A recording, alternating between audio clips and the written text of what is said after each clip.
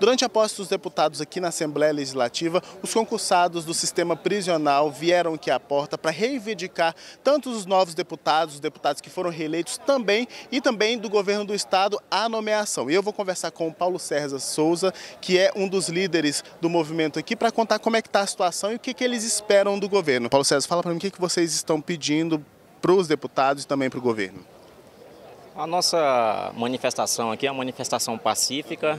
A intenção nossa é sensibilizar o governador uhum. para que nos dê a nossa nomeação em posse. Né? Estamos aqui pacificamente, mas extremamente preocupados. O concurso vence dia 16 de fevereiro e até o momento não tivemos uma posição concreta do governo né, sobre o chamamento. São 354 pais e mães de família que estão aguardando a nomeação em posse desde o dia 17 de outubro a maioria estão desempregados. Vocês já fizeram quais etapas desse concurso?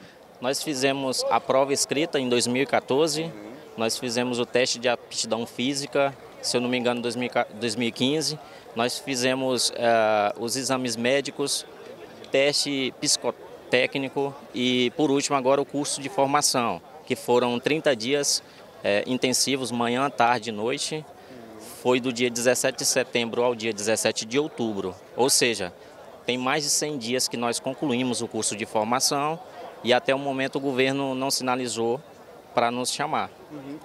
Já teve alguém que foi convocado desse concurso ou não? Vocês estão só aguardando ainda esse tempo todo?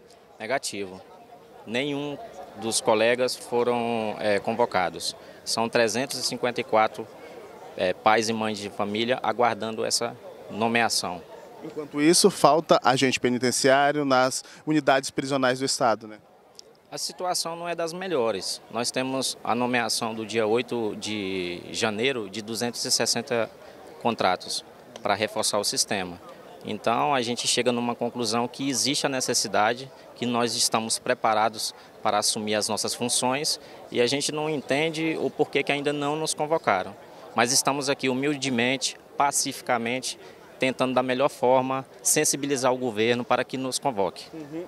Vocês não conseguindo e vencendo esse prazo, vocês pensam em entrar na justiça ou antes ou depois?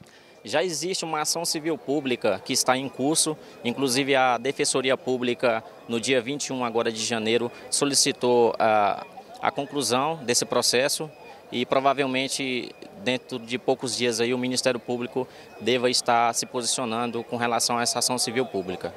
É certo. Muito obrigado pelas informações. Com a imagem de Mignaldo Santos, Matheus Mourão, para o Povo na TV.